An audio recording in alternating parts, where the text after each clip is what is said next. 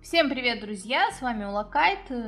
Мы, напомню, играем Shadowrun Returns. И мы расследуем смерть нашего друга Сэма за небольшую, небольшое вознаграждение. К нам присоединился Джейк Армитидж, э, какой-то шаман,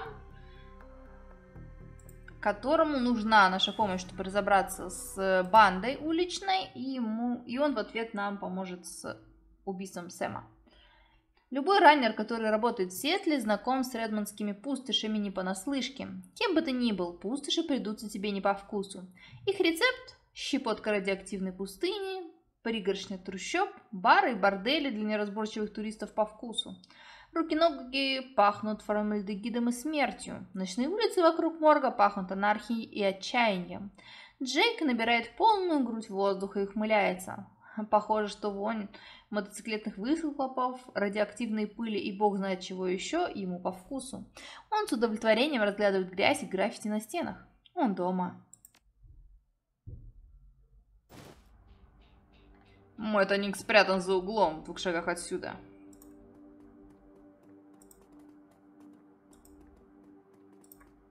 Окей. Где здесь автобусная остановка? Хочешь приятно провести время? Эльфы меня заводят.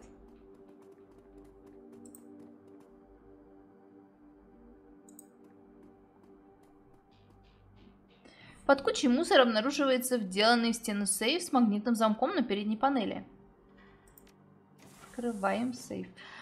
Дверца открывается с негромким шипением. Внутри обнаруживается набор снаряжения, которое как нельзя лучше тебе подходишь. Ты забираешь вещи. Ну-ка, ну-ка, давайте заценим. Ой-ой-ой, нет. Давайте мы сперва заценим вещи. Во, нам дрон дали. И кто-то тут к нам прибежал с нами драться. Эй, не бей нас, не бей нас, не бей нас. Кто вообще это? Головорез какой-то. Так, вот у нас появился наведение. Отмечает цель, чтобы союзникам было легче по ней попасть. Мне кажется, у нас... А, это какой-то киберимплант. Так, 96%.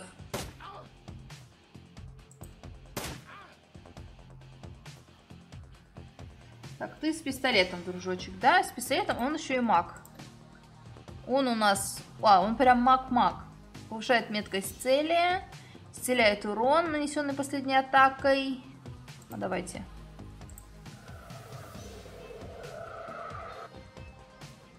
Есть. Ну, пристрелим уж. Ай.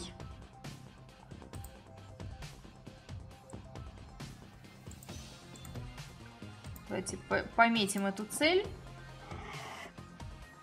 Ага.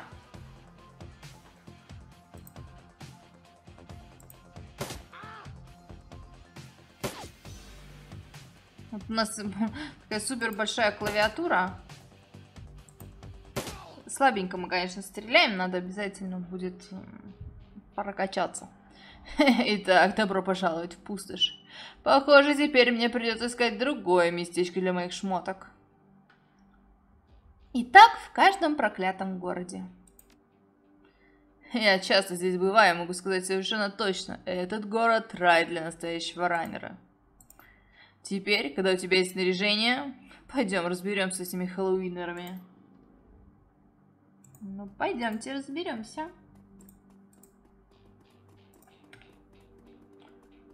Жаждущий сна, обеспокоенный прохожий. Ну-ка, обеспокоенный прохожий, поговори с нами. Человек перед тобой приятно одет, по крайней мере, по здешним меркам, но он сильно нервничает. Прошу прощения, мэм, мы не знакомы, но у вас вид уличного бойца, а нам отчаянно нужна помощь. Я сражаюсь только за деньги. Но мы можем заплатить. Какие-то головорезы повадились вымогать у нас деньги. Мы разбили небольшой рынок на соседней улице. И поначалу дела шли довольно неплохо. Но теперь мы не можем платить им столько, сколько они требуют. Никто не решается дать от нам отпор, а одинокая звезда, похоже, не собирается вмешиваться. Сколько их и сколько вы мне заплатите? Прямо сейчас их только двое. Я не могу назвать точную цену, но Мисс Джеймс наверняка справедливо вас вознаградит.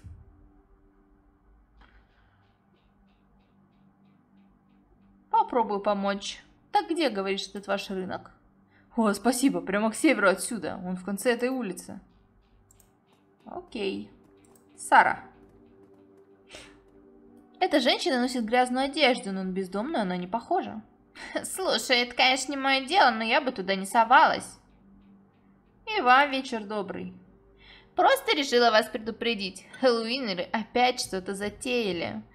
Приехали утром на своих раскрашенных мотоциклах, припарковали их прямо среди рынка. Весь вечер маршировали по улице и вытрясали из прохожих деньги и вещи. Так, на север говорите, да, они? Сейчас мы тут еще чуть-чуть пошарахаемся. Влад. Когда ты подходишь к этому человеку, ты видишь, как он напрягается, пытаясь решить, драться ему с тобой или бежать. Задача оказывается непосильной для его перегруженного наркотиками сознания. На его руках видны следы от уколов и татуировки, которые выдают в нем уличного шамана. Трудно сказать, какую часть своего могущества он сумел сохранить. «Кто ты такой?» «Никто, вообще никто, оставь меня в покое. Я ничего не видел, клянусь». «Успокойся. Меня зовут Кайт, а тебя?» Меня зовут, меня зовут Влад. У тебя очень красивые татуировки, Влад. Ты шаман? Слово «шаман» заставляет его собраться. Его взгляд становится чуть более осмысленным, а застилающая глаза пелена почти исчезает. Да, да, я шаман. Понятно. Пожалуйста, Влад, расскажи мне, что ты видел. Я видел, да, я его видел. Прошлой ночью я видел духа темного и ужасного. Он был таким чужим, таким, как все. Влад замолкает, его сотрясает сильная дрожь. Где ты видел этого духа? Прямо через дорогу, напротив союза белошвеек. Он ушел, Влад. Он не сможет тебя убить, ты в безопасности. Спасибо. Да, смогу, мне уже лучше. Я чувствую себя гораздо лучше. А теперь, думаю, мне лучше поспать.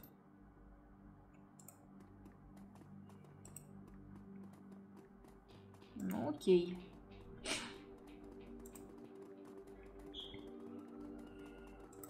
Ну, понятно. В общем, на севере рынок. И велено нам туда... Точнее, нас попросили туда сходить, разобраться с этими...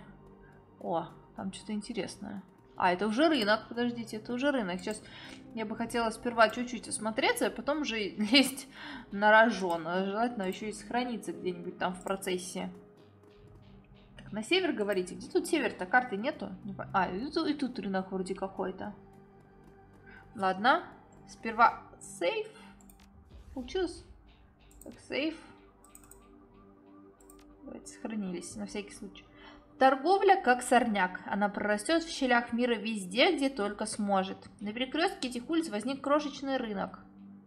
Не дали дочитать.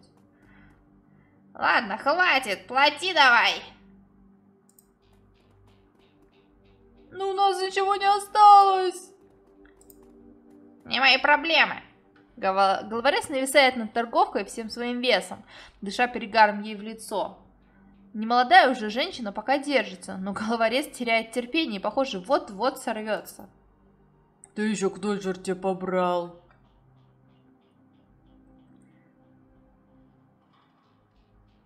Видела бы тебя сейчас твоя мамаша, она бы тобой гордилась. Знаю эту шутку юмора, ты не коп, почему бы тебе не свалить отсюда? Потому что я ненавижу таких подонков, как ты. Я знал, что ты нарываешься. Дэш, тут подруга. Битва! Ай!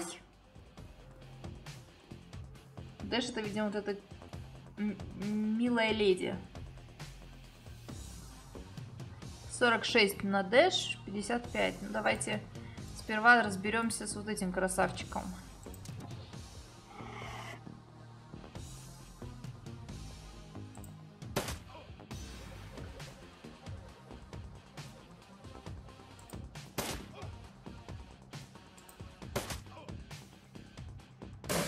Ой.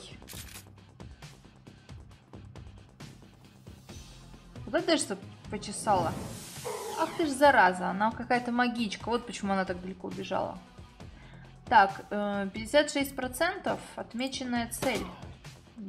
Мину, минус, чувак. 99%. Ой, девочка, ты попала. Мы тоже умеем, кстати, в магию. Так, огнемет. Или прицел. А ну.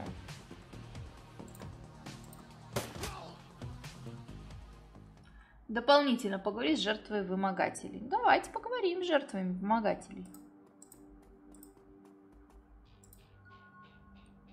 Миссис Джеймс, не могу вас не поблагодарить. Я не люблю, когда перед моим домом проливается кровь, но некоторые люди отказываются понимать слово «нет». Мы просто хотим, чтобы нас оставили в покое. Торговка протягивает тебе несколько наед. Пожалуйста, в знак нашей благодарности. Берем деньги. Можно подказываться, конечно, брать деньги. В таких играх обычно это может эм, дать какие-то положительные э, ну, то есть какую-то репутацию, карму, что-нибудь в таком духе.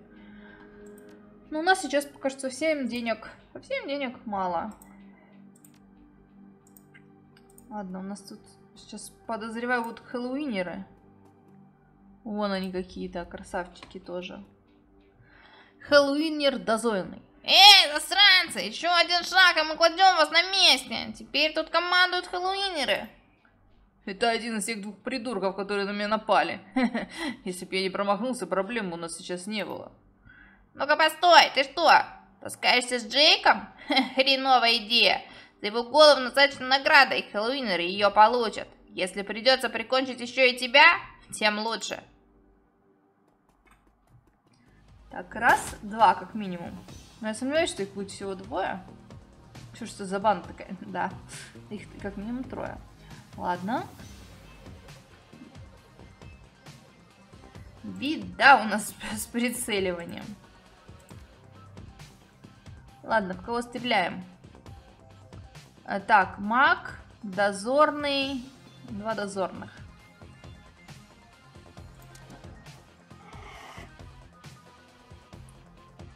54. Все равно фигово. Ну ладно, попали.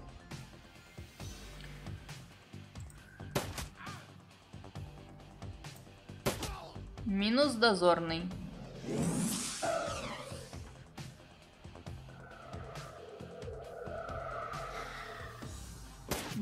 У нее огонь. Ранение 6.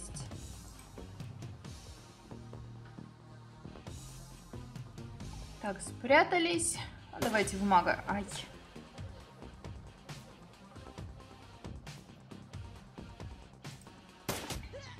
Ух ты, крит.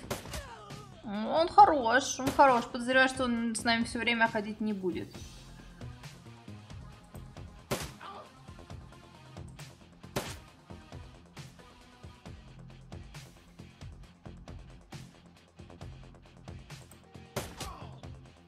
Все?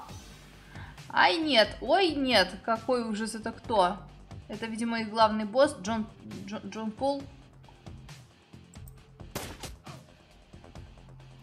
Ай, сейчас мне прилетит этим большим мечом по моей маленькой девочке.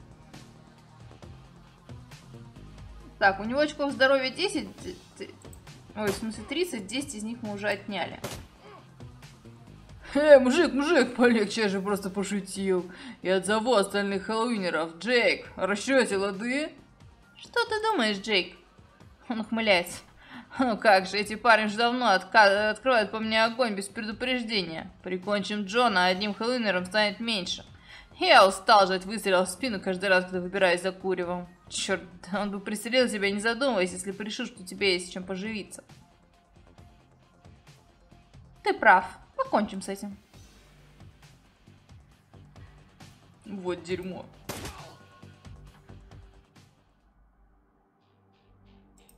С них ничего такого вкусненького не падает, чтобы обобрать бы.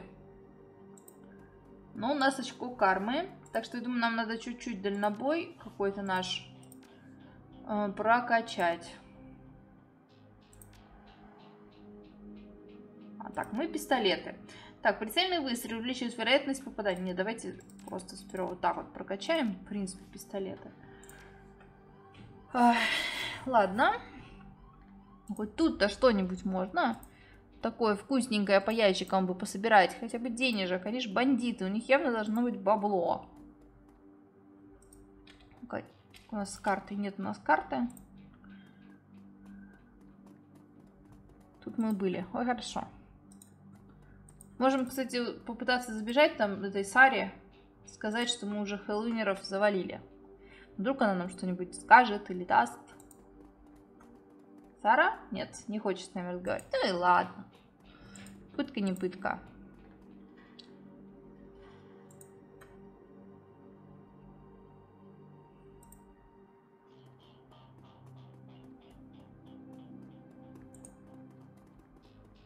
Тут какие-то полицейские. О, еще один только пончик Дэн. Ага, какая прелесть.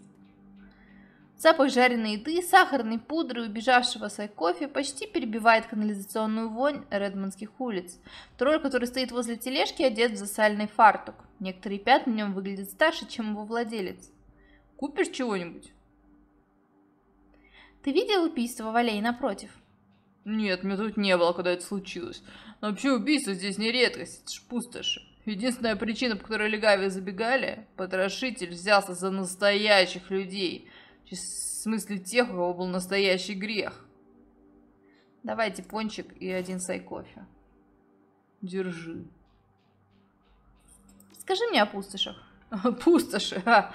Если ты о них спрашиваешь, тебе точно здесь не место. Это улица и есть туристический городок, самое приличное всех пустошах место. Грабления здесь случаются не так часто, и воду из-под крана иногда даже можно пить. Не советую тебе это делать. Он чешет свою подмышку. Прям за мной, союз белошевеек. Хочешь выпивки, марок, компании или что там еще тебе надо, иди туда. Это место единственная причина, по которой я еще не перегорел. Развлечения разжигают у людей аппетит. Вот этим заведением миссис Кубота. Очень почтенная женщина. Суровая, но честная. До скорого. Ладно, у нас есть пончик и кофе. Бобби, Ха, привет. У меня для тебя кое-что есть. Каждый раннер должен время от времени обновлять свой гардероб, иначе его поднимут на смех. Буду рад тебе в этом помочь. При что, прям портной? Так, боевой стимулятор. Ага, он наркоторговец. Похоже, а не портной. Гардероб он... Это лучшее заведение во всем городе. Будем иметь в виду. Что, сперва совет... А нам похоже... Изнутри доносится смех и звуки музыки.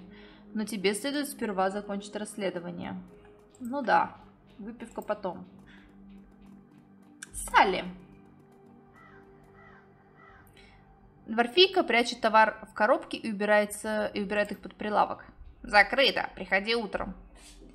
Ты стоишь здесь целыми днями. Скажи, ты видела, что случилось в переулке напротив? Она ворчит. Само собой.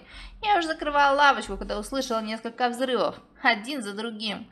Через несколько секунд из переулка выбежал какой-то мужик и рванул куда-то прочь. Я не успела его разглядеть. Потом взорвались все фонари. И все наконец затихло. Попробую угадать. Сходить посмотреть, что случилось, тебе в голову не пришло. Конечно нет. Любопытные долго не живут. Спасибо. Пожалуйста. Что ж, так. Там нас, видимо, туда нас уже сильно не пустят, да? Не пустят. Видимо, идем вот в ту переулочек как раз. Надо зайти в него с нужной стороны. Так, только сохранимся. Сохранимся обязательно. Посети место убийства. Да, вот у нас... Так, со... Ага, нельзя сохраниться. Ну ладно. Нельзя так нельзя. Когда вы приходите к месту убийства Сэма, Джейк замечает мигающие красные и синие огни полицейского автомобиля.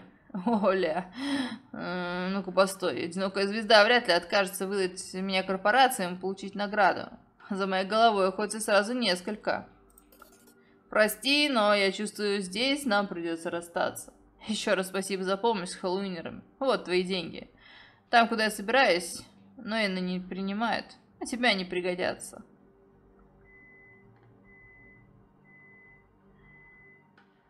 Точно не хочешь остаться? Твоя помощь мне бы не помешала.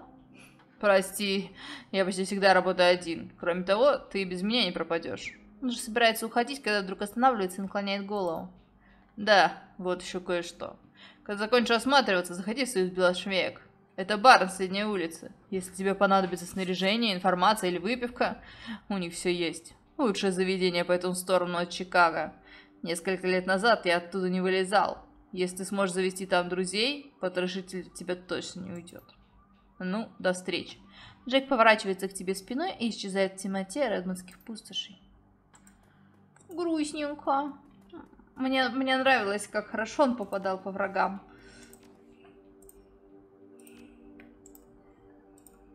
Ну что, посмотрим, пустят ли нас Вильям. Вау. Ярко-желтая лента рассекает вечернюю темноту и привлекает внимание к силуэту, начертанному мелом на окровавленной мостовой. Именно здесь умер Сэм Уотс. Возле входа в переулок перетаптывается с ноги на ногу полицейский одинокой звезды. Он выглядит голодным, замерзшим и недовольным. Скорее всего, потому что один из бездомных обитателей трущоб не перестает ему засаждать. Вильям. «Сынок, мне нужно забрать оттуда вещи, или ночью замерзну ко всем чертям». Полицейский вздыхает. «Я говорю, это место преступления. Пока одинокая звезда не закончит расследование, никого не могу впустить». «Э, у меня есть права!» «А грех у тебя есть?» Я так и думал. Нет тебе никаких прав, так что найди себе свое новое одеяло, пока мне не пришло в голову отогнать тебя дубинкой. Я так и знал, мусор он и есть мусор, ненавижу. Он смотрит на тебя. Чего еще? Долгая выдалась ночка, да? Мне показалось, что ты замерз. Держи пончик и стакан сай кофе. О, спасибо. Охранник делает глоток и расплывается в довольной улыбке. Для сотрудника «Одинокой звезды» он поразительно доверчив. Знаешь, ведь мой отец был полицейским. Еще в те дни, когда полицейские работали на правительство. Он рассказывал, что люди часто приносили ему кофе. А мне его никогда никто не приносил. Сегодня первый раз. Так чего тебе здесь надо?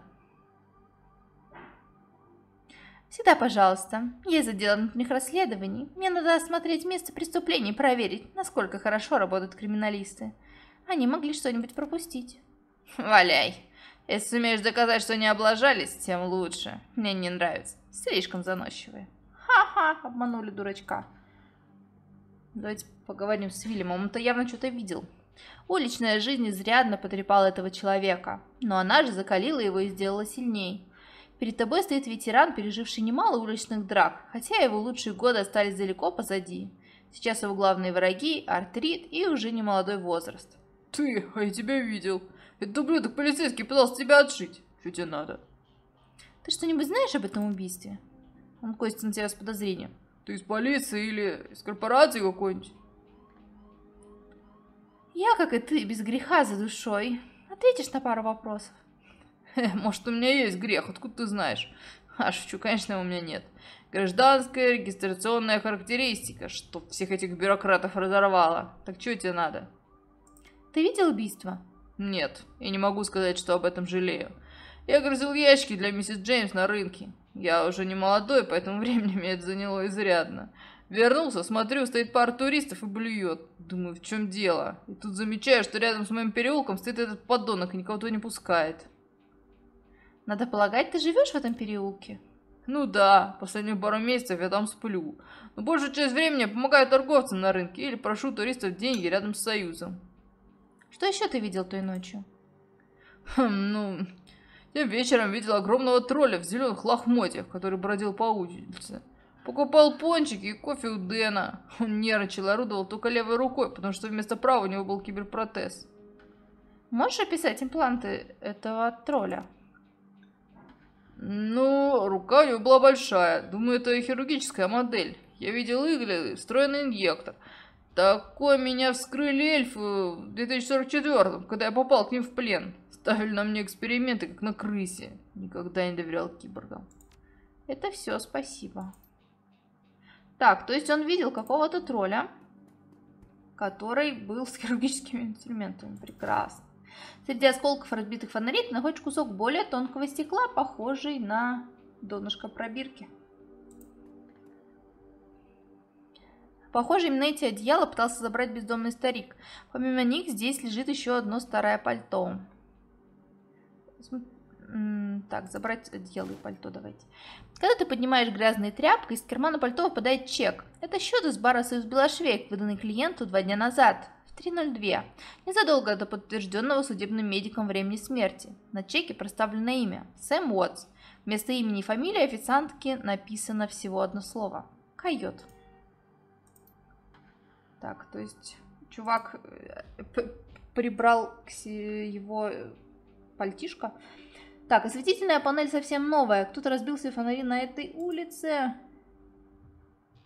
Присмотревшись, ты понимаешь, что все они были уничтожены одновременно, как если бы какая-то сила заставила их взорваться. На полу отчетливо видны следы двух пар ног. Первый след принадлежит человеку и заканчивается рядом с местом, на котором было найдено тело. Второй след гораздо большего размера следует за первым.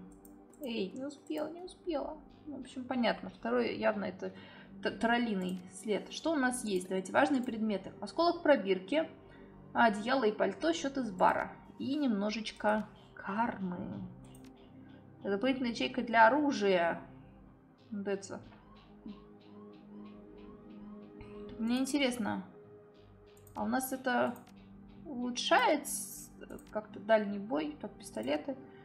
Прицельный выстрел позволяет увидеть вероятность нанесения критического урона.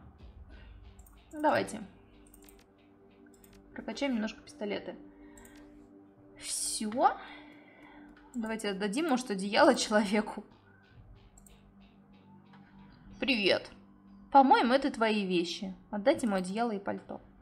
Мои вещички очень любезны с твоей стороны. В этих краях незнакомцы не часто помогают друг другу. Все, тут мы точно ничего не забыли, да? Все, видите, смотрите, напоили за 10 вообще монет. Пробрались на место преступления. Так. Ты вчера продавал пончики троллю, одетому в лохмотье? Может быть, тебе какое дело? За день я продаю не один десяток пончиков. Я знаю, как одинокая звезда поступает с металюдьми. Если я им скажу, что тролль мне кое-что купил за полчаса до убийства, они загребут его просто для того, чтобы сделать из него козла отпущения. Так что нет, никого не видел, ничего тебе не скажу. Давай еще один пончик с повидлом. Вот так-то. Ничего больше нам не хочет говорить. Ну что, следующая остановка, видимо, у нас бар. Так, Бобби. Да, Бобби у нас продает только стимуляторы. И, ну, в Белосоюз Белошвейк мы пойдем, очевидно, уже в следующей серии. Поэтому не забывайте ставить лайки, писать комментарии, чтобы видео продвигать. И увидимся в следующей серии. Пока-пока.